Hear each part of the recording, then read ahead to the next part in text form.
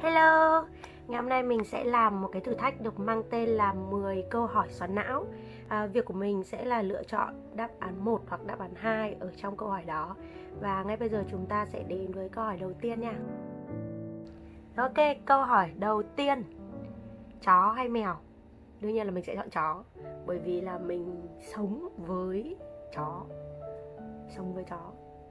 Không phải Mà là bố mình nuôi chó từ khi mình còn rất là nhỏ.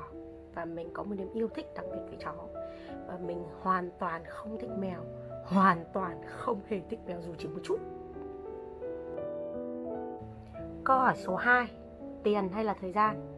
Đương nhiên mình sẽ chọn thời gian rồi, bởi vì thời gian làm ra tiền, vậy thôi. Rồi, câu hỏi thứ ba. Không bao giờ phải xếp hàng hay không bao giờ phải gặp đèn đỏ? Mình sẽ chọn không bao giờ gặp đèn đỏ bởi vì mình thích đi đường thoáng đãng thích nhẹ nhàng và mọi thứ nó suôn sẻ. Còn xếp hàng là chuyện đương nhiên vì mình nghĩ đấy là một sự kỷ luật thế thôi.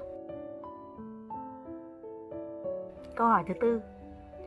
Sô cô la vị mốc hay mốc vị sô cô la trời ơi đương nhiên là sẽ chọn sô cô la vị mốc rồi.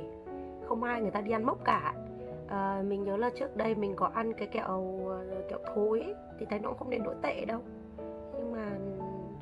bảo ăn mốc thì thấy có những cái món ví dụ như là đậu lên men này hay là cái đậu ở Trung Quốc nó, nó, nó, nó tàng mốc lên.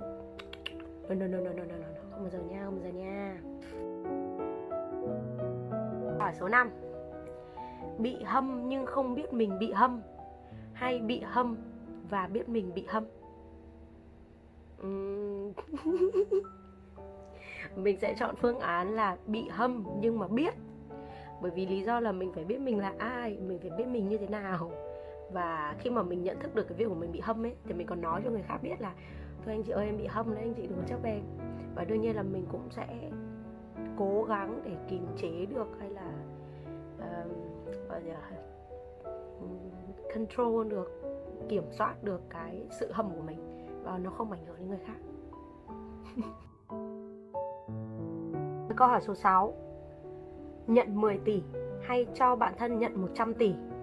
Uhm, mình sẽ chọn phương án là cho bản thân nhận 100 tỷ.